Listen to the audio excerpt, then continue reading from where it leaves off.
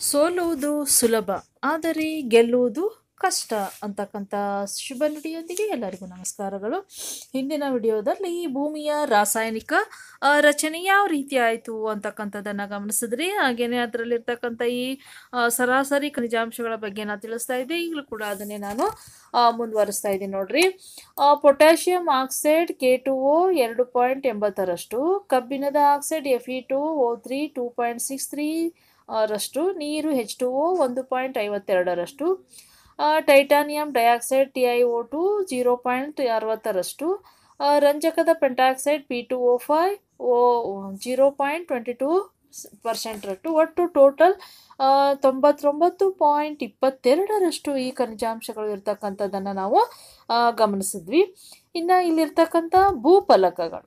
ಈ ಭೂಫಲಕಗಳು ಅಂದ್ರೇನ ಬಹುತೇಕ ವಿಜ್ಞಾನಿಗಳು ಒಪ್ಪಿಕೊಳ್ಳುವ ಫಲಕ ರಚನಾಶಾಸ್ತ್ರದ ಪ್ರಕಾರ ಭೂಮಿಯ ಹೊರಭಾಗವು ಎರಡು ಪದರಗಳಿಂದ ಕೂಡಿದೆ.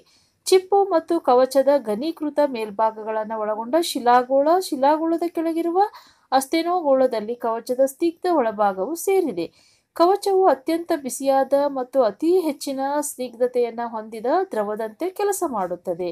ಇಲ್ಲಿ ಭೂಮಿಯ ಮೇಲ್ಮೈ ನಿರಂತರವಾಗಿ ಚಲಿಸುವ ಈ ಫಲಕಗಳ ತುದಿಗಳಲ್ಲಿ ಮೂರು ಬಗೆಗಳಿದಾವ. ಅಭಿಸಾರಿ, ಅಪಸಾರಿ ಮತ್ತು ಪರಿವರ್ತೀಯ ಭೂಕಂಪನಗಳು, ಅಗ್ನಿಪರ್ವತಗಳು, ಪರ್ವತಗಳ ನಿರ್ಮಾಣ ಮತ್ತು ಸಾಗರ ಕಂದಕಗಳು ಭೂಫಲಕಗಳ ಫಲಕಗಳ ತುದಿಗಳಲ್ಲಿ ಉಂಟಾಗ್ತಾವ ಅಂತಕ್ಕಂಥದ್ದನ್ನು ನಾವು ಗಮನಿಸ್ಬೇಕಾಗ್ತೈತೆ ನೋಡ್ರಿ.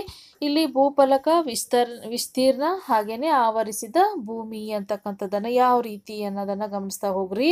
ಆಫ್ರಿಕನ್ ಭೂಫಲಕ ಅರವತ್ತೊಂದು ಪಾಯಿಂಟ್ ಮೂರು, ಆಫ್ರಿಕಾ ಅಂಟಾರ್ಟಿಕಾ ಭೂಫಲಕ ಅರವತ್ತು ಪಾಯಿಂಟ್ ಒಂಬತ್ತು, ಅಂಟಾರ್ಟಿಕಾ, ಆಸ್ಟ್ರೇಲಿಯನ್ ಭೂಫಲಕ ನಲವತ್ತೇಳು ಪಾಯಿಂಟ್ ಎರಡು, ಆಸ್ಟ್ರೇಲಿಯಾ, ಯುರೇಷಿಯನ್ ಭೂಫಲಕ ಅರವತ್ತೇಳು ಪಾಯಿಂಟ್ ಎಂಟು, ಏಷ್ಯಾ ಮತ್ತು ಯುರೋಪ್, ಉತ್ತರ ಅಮೆರಿಕಾ ಭೂಫಲಕ ಎಪ್ಪತ್ತೈದು ಪಾಯಿಂಟ್ ಒಂಬತ್ತು, ಉತ್ತರ ಅಮೆರಿಕಾ ಮತ್ತು ಈಶಾನ್ಯ ಸೈಬೀರಿಯಾ, ದಕ್ಷಿಣ ಅಮೆರಿಕಾ ಭೂಫಲಕ ನಲವತ್ತ್ಮೂರು ಪಾಯಿಂಟ್ ಆರು, ದಕ್ಷಿಣ ಅಮೆರಿಕಾ ಪೆಸಿಫಿಕ್ ಭೂಫಲಕ ನೂರ ಮೂರು ಪಾಯಿಂಟ್ ಮೂರು ಪೆಸಿಫಿಕ್ ಮಹಾಸಾಗರ.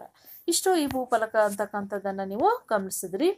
ಇವು ಸಣ್ಣವಾದರೂ ಕೂಡ ಗಮನಾರ್ಹವಾದ ಭೂಫಲಕಗಳಲ್ಲಿ ಭಾರತೀಯ ಭೂಫಲಕ, ಅರೇಬಿಯನ್ ಭೂಫಲಕ, ಕೆರಿಬಿಯನ್ ಭೂಫಲಕ ನಕ್ಷ ಭೂಫಲಕ, ಇನ್ನು ಸ್ಕೋಶಿಯಾ ಭೂಫಲಕಗಳು ಕೂಡ ಸಾಕಷ್ಟು ಇಲ್ಲಿ ಸೇರ್ತಾವ ಅಂತಕ್ಕಂಥದ್ದನ್ನು ಕೂಡ ನಾವು ಗಮನಿಸ್ತಾ ಹೋಗ್ತೀವಿ.